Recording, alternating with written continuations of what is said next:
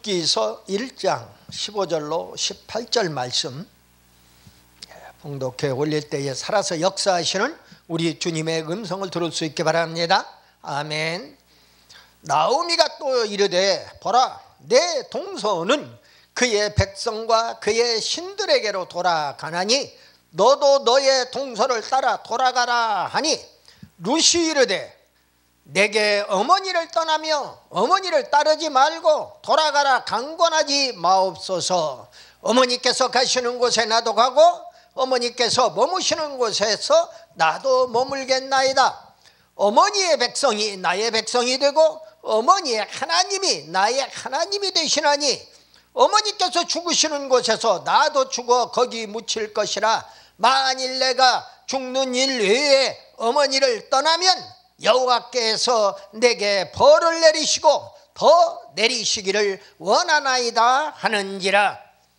나오미가 루시 자기와 함께 가기로 굳게 결심함을 보고 그에게 말하기를 그치니라.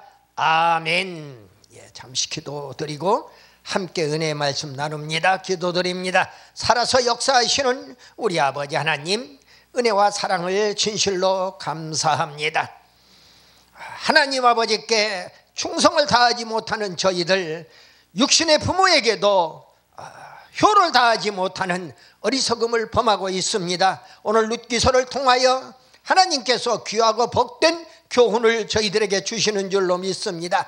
사사시대 암흑기의 효행과 헌신과 구속의 경전 바로 룻기서를 통해서 룻이라고 하는 이방 여인이 아, 남편도 잃어버리고 시아버지도 잃어버리고 모두 다 잃어버린 가운데에 아, 시어머니 나오미를 섬기는 그러한 아, 효행을 우리가 본받을 수밖에 없습니다. 그 결과 아, 룻기서의 주인공이 될 뿐만 아니라 예, 그리스도 예수의 조상으로 우뚝 서게 되는 것을 보게 됩니다.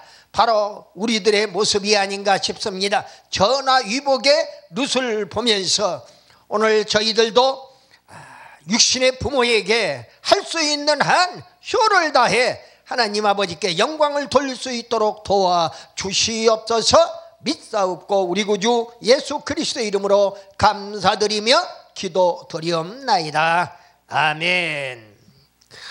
어, 오른손 들고 인사 한번 해요. 할렐루야, 할렐루야. 예, 반갑습니다.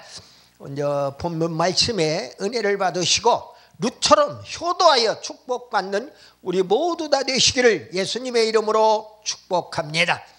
룻기서는요 사사시대 암흑기에 어, 그 사사기와 함께 더불어서 어, 그 이방 여인 이방에 가서 모압 지방에 가서 모압 여인과 아, 자기 아들을 결혼시킨 그러한 나오미가 결국 아, 효부가 되고 또 효행을 받고 또 자기 자신도 아, 자기가 믿는 하나님을 며느리에게 온전하게 전하는 그런 모습을 보게 됩니다. 오늘 룻기서나 에스더서는요 성경에 여인이 주인공이 된 인물이에요. 근데 룻기서는 이방 여인이고 에스더서는 유대 여인입니다. 유대 여인이나 이방 여인이나 할 것 없이 다 예수님의 가문에 들어올 수 있다고 하는 거예요. 예수 믿고 구원받으면 하나님의 족보에 들어갈 수 있다는 것을 우리에게 보여주는 덕목입니다. 아, 그래서 경전 이름을 따서 그 룻 이름을 따가지고 룻기서라고 이야기를 하고 있는 겁니다. 성경에서 룻은 두 사람이 등장해요. 어, 노아의 아들 어, 셈과 함과 야벳이 있죠. 근데 그 셈의 큰아들 셈의 아들이 룻이에요. 창세기 10장 22절에 보면은 룻이 등장합니다. 그, 이, 그 유대 족속에서는 바로 셈의 후손으로 등장합니다. 그리고 모함 여인 오늘 이방 여인 루스로서 등장합니다. 둘 다 구원받아서 예수님의 족보에 들어갈 수 있는 위대한 인물들이 다 되었어요. 오늘 본문은 사사시대 시부모와 남편과 아, 시부와 남편과 사별한 이방 여인 루시 결국 시모 혼자 남아 있는 시모 나오미에게 효도를 다하는 그러한 내용으로 되어 있습니다. 아, 그래서 오늘 말씀의 제목이 효도로 축복받은 루시예요. 인물 29탄입니다. 어, 룻은 어떤 인물이냐? 어, 룻은 그 이름의 뜻은 어, 히브리어로 우정이라는 뜻이에요. 우정이라는. 아, 그런데 그 룻은 누구냐 하면은 룻기 1장 1절로 4절까지 4장 10절에 보면은 룻은 사사시대 모함 여인으로 히브리인 엘리멜렉의 아들 말론의 아내이고 나오미의 며느리가 며느리가 되는 사람이다 하는 이야기입니다. 아, 룻기서 4장 13절에 보면 룻은 시부와 남편이 죽은 후에 보아스와 재혼하게 되는 것을 보아요. 어, 훗날 얘기지요. 어, 룻기 4장 21절 22절에 보면은 그리고 그 룻은 다이당의 증조모 그리스도의 조상이 되는 사람이에요. 어, 오늘 신약 성경에 막 넘어가면은 맨 처음에 나오는 마태복음이 나옵니다. 마태복음 1장에 예수님의 족보가 나와요. 아브라함과 다윗의 자손 예수 그리스도의 세계라로 시작되는 예수님의 족보가 나오는데 거기에 15절과 16절에 보면은 마태복음 1장 15절과 16절 말씀을 보면은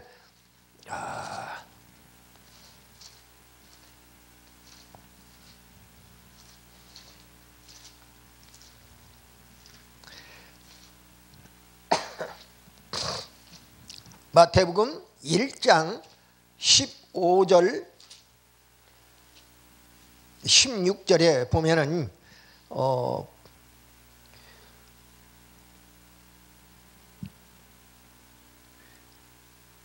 엘리옷은 엘르아사를 낳고 엘르아사는 마단을 낳고 마단은 야곱을 낳고 야곱은 마리아의 남편 요셉을 낳았으니 마리아에게서 그리스도라 칭하는 예수가 나시니라 그랬습니다. 그 예수님의 족보에 대한 말씀인데 룻기 4장 21절 22절 말씀을 보면은요.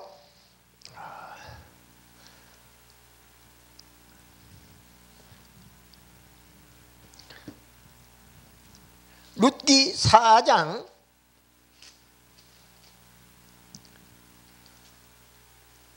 룻기 4장 21절 22절 말씀을 보게 됩니다. 살모는 보아스를 낳았고 보아스가 장차 어, 이 룻의 어, 재혼 남편이 될 사람이죠. 살론 아, 보아스를 낳았고 보아스는 오벳을 낳았고 오벳은 이세를 낳고 이세는 다윗을 낳았더라. 그러니까 다윗 왕의 증조모가 되는 사람이 그리스도의 어, 조상의 계보에 들어가는 것을 보게 됩니다. 룻은 하나님을 믿었고 효심이 지극했고 자상했고 또 섬세한 성품의 소유자입니다. 어, 룻의 가정은 어떠했느냐? 이방 여인 룻은 어, 친정집에 대한 기록은 전혀 성경에 언급이 없어요. 성경이 없으면 없는 겁니다. 근데 그걸 없는 걸 이리 뒤지고 저리 뒤지고 어디 밖에 있는 역사서 어디에서 뒤져가지고 갖다가 엉뚱하게 붙이고 그러는데 성경에 없으면 없는 거예요. 그런데 어, 그 이방여인 노선 어, 친정집 내력은 기록이 없지만은 룻기서에서 1장과 2장, 4장에서 보면은 모압 여인 룻이라는 표현을 다섯 번이나 기록하고 있어요. 무엇 때문에 이 성경 저자는 룻이 이방 여인이라는 것을 강조했을까? 이 지구상에는 하나님의 택한 유대인뿐만 아니라 이방의 모든 족속들이 예수 그리스도의 신부가 될 수 있다는 것을 우리에게 암시해 주는 그런 덕목이에요. 바로 어, 그런데 이제 시집의 상황은 그렇고 어, 기록이 없으니까 그런데 어, 이제 그 친정집 상황은 그렇고 시집에 왔어요. 그러니까 엘리멜렉 가문에 시집을 왔는데 엘리멜렉이라고 하는 어, 남자는 베들레헴에서 나오미와 한 가정을 이루어서 어, 두 아들 말년과 기륜을 낳아서 기르고 있던 중에 베들레헴에서 흉년을 만나게 됩니다. 그러니까 살 수 없는 거예요. 그래서 어디로 가느냐? 바로 이방 땅으로 가게 되는 거예요. 우리 인지상정이지요. 우리가 살 수 없는 땅에 머물러 잠시 머물게 되면은 아하 흉년 들어서 여기서는 더 이상 살 수가 없다. 그런데 하나님이 떠나라고 하지 않음에도 불구하고 거기를 떠나가요. 하나님의 명령대로 움직이지 아니하면 그 앞에 죽음이 도사리고 있다는 겁니다. 그는 어, 엘리멜렉은 결국은 두 아들과 함께 어, 모압 땅에 가서 아, 죽음을 맞이하게 되는 것을 보아요. 어, 죄 없는 자기 마누라와 죄 없는 자기 자부들 두 사람은 뭐냐 그 말이에요. 새 과부가 하루아침에 생겨버린 거예요. 완전히.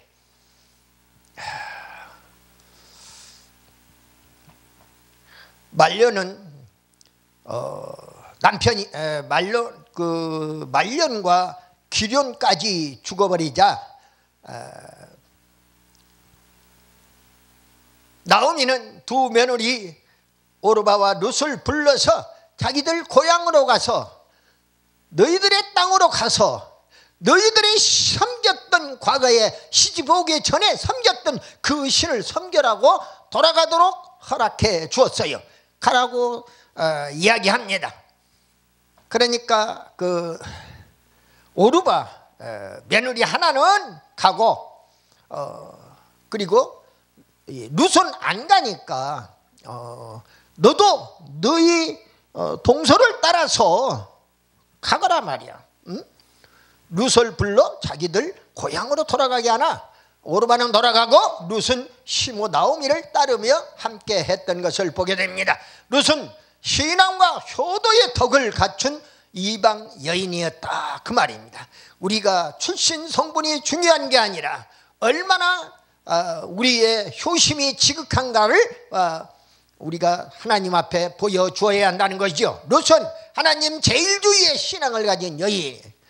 어, 그전에는 자기가 섬겼던 이방신, 어, 시집 오기 전에 섬겼던 그 이방신에 대해서는 이런저런 얘기가 없어요. 그런데 나오미를 통하여 자기 시아버지를 통하여 남편을 통하여 여호와 하나님이 진짜 하나님이라는 것을 오늘 룻은 믿은 겁니다. 하나님 제일주의의 신앙을 갖게 됐어요. 시집와서 가장 소중한 신앙을 가졌더라 그 말입니다. 오늘날도 시집 오기 전에 여인들이 시집 와가지고 이렇게 자기 어, 시집들을 다 그 주님 품으로 인도하고 하는 것을 보게 돼요. 하나님 제일주의 신앙을 갖는 것이야말로 대단히 중요하다 하는 말씀을 드립니다. 루슨 시집와서 가장 소중한 신앙을 얻었더라 그 말이지요. 그 믿음은 하나님 제일주의 신앙이었어요. 전도서 12장 13절에 하나님을 경외하고 그 명령을 지킬지어다 이렇게 어, 솔로몬을 통해서 전도서 말씀을 주고 있어요. 또 빌립보서 3장 8절로 9절에 보면은 사도 바울은 빌립보 교회를 향하여 이렇게 또 말씀을 주고 있는 걸 봅니다. 또한 모든 것을 해로 여김은 내주 그리스도 예수를 아는 지식이 고, 가장 고상하기 때문이라. 내가 그를 위하여 모든 것을 잃어버리고 배설물로 여김은 그리스도를 얻고 그 안에서 발견되려 함이니 내가 가진 의는 율법에서 난 것이 아니요 오직 그리스도를 믿음으로 말미암는 것이니 곧 믿음으로 하나님께로부터 난 의라 이렇게 사도 바울은 어, 하나님의 말씀을 빌립보 교인들에게 대언을 해주고 있는 것을 보게 됩니다. 자기는 다른 것을 예수를 영접하고 나니까 그리스도를 영접하고 나니까 다른 지식은 다 헛거라는 거예요. 얼마나 바리새일 어, 그 가말리엘 문화에서 최고의 학부를 공부했던 사도 바울입니까? 그런데 그 많은 지식이 배설물 아무런 의미가 없는 어, 인체 어, 쓰레기같이 버려야 하는 배설물로 여겼다는 거예요. 그것이 바로 내가 가지고 있는 아무리 깨끗하려고 아무리 율법을 지켜서 의롭게 되려고 하는 나 자신의 인간의 의는 하나님 그리스도를 통한 하나님의 의 앞에는 그 지식의 고상함이 비교가 되지 않는다는 것이지요. 여러분들 예수를 영접한 사람들은 얼굴에 기쁨이 차고 넘치는 것을 봅니다. 아무리 어렵고 힘들어도 차고 넘치는 것을 보아요. 오늘 루시 그런 입장이고 사도 바울이 바로 그런 입장이었다. 말씀을 드릴 수가 있어요. 루시 시모를 따른 이유가 시모님과 함께 동거동락했어요. 우리는 예수님과 함께 동거 동락을 해요. 교회라고 하는 공동체를 통하여 동거 동락하면 되는 겁니다. 시모의 백성이 자신의 백성이라고 고백하고 있어요. 루손. 그리고 시모의 하나님이 자기의 하나님이라고 고백하고 있는 겁니다. 죽음도 시모와 함께하는 신앙 때문에 룻은 어,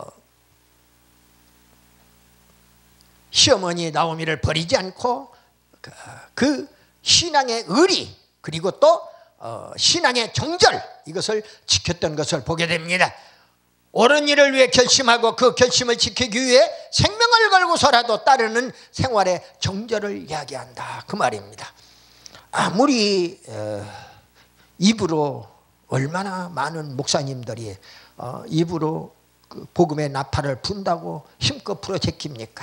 입으로 찬양한다고 얼마나 아, 찬양을 많이 합니까?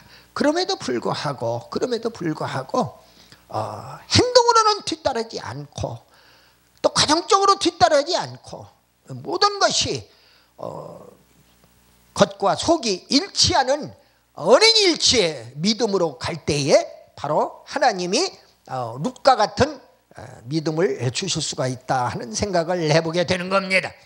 어, 룻은 자기가 결심한 대로 사생결단하는 거예요.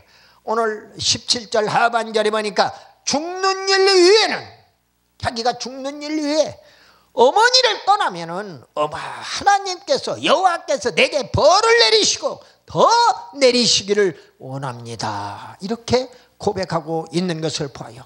나는 절대로 시부모 떠나지 않습니다. 어머니 떠나지 않습니다. 아, 그래가 아, 결국은 따르게 되니까 아, 나오미가 그때사 강권하던 말을 그치니라 그랬어요. 루선 효도로 덕을 쌓은 여인입니다. 시모의 귀한 권고에도 불구하고 보라 내 동서는 그 백성과 그 신에게로 돌아가나니 너도 동서를 따라 돌아가라. 그런데 귀한 공고를 물리친 그 효심을 볼 수가 있는 겁니다. 16절, 17절에 보면은 오늘 본문에 어머니를 떠나며 어머니를 따르지 말고 돌아가라 강권하지 마옵소서. 어머니께서 가시는 곳에 나도 가고 어머니께서 머무시는 곳에 나도 머물겠나이다. 어머니의 백성이 나의 백성이 되고 어머니의 하나님이 나의 하나님이 되시리니 어머니께서 죽으시는 곳에서 나도 죽어 거기 묻힐 것이라 만일 내가 죽는 일 위해 어머니를 떠나면 여호와께서 내게 벌을 내리시고 더 내리시기를 원하나이다 하라 그랬습니다. 죽기까지 어, 홀로 남아 계시는 어, 시어머니를 섬기려고 하는 그 효행을 우리는 본받아야 한다 하는 말씀을 드립니다. 그게 바로 오늘 본문을 통한 큰 덕목이고 교훈이에요. 어, 네 번째로 룻은 이방 여인으로 많은 축복의 주인공이 되었어요. 이방 여인의 믿음으로 어, 받은 축복은요 당시에 불신앙의 세계에서 신앙의 세계로 우상의 세계에서 하나님의 세계로 시집 와서 시집의 신앙을 본받아서 구원의 축복을 이룬 그러한 여인입니다. 그리고 그는 룻기 3장 11절에 보면은 현숙한 여인 칭호를 받습니다. 천한 일다 마다하지 않고 근면했어요. 심호 병행에 극진했어요. 예수님 족보에 오르는 축복의 주인공이 되었어요. 루시 재혼한 보아스는 축복의 사람으로 그 자손이 축복받아 예수님 족보에 올랐더라 그 말입니다. 성경 66권 중에 한 권의 그 책무, 책 이름으로 되어 있는 룻기 바로 그 축복을 받아 누렸던 거지요. 어, 이방 여인 바로 모함 여인 루시 성경 책망으로 등장하는 축복을 받았더라 그 말입니다. 말씀을 마무리합니다. 어, 이방 여인 룻은 하나님 제일주의 신앙을 가졌다. 근데 그 하나님 제일주의가 사생결단에 에, 믿음을 가졌다. 그리고 그 믿음으로 인한 의리와 또 어, 부모를 향한 효도, 효행, 어, 현숙한 여인의 칭호를 받을 정도로 예수님이 족보에 오르는 축복과 또한 승리의 주인공이 되었더라 그 말입니다. 우리도 룻처럼 하나님 제일주의 신앙으로 부모님께 효도하여 진정한 축복의 주인공 다 되시기를 예수님의 이름으로 축원합니다. 아멘.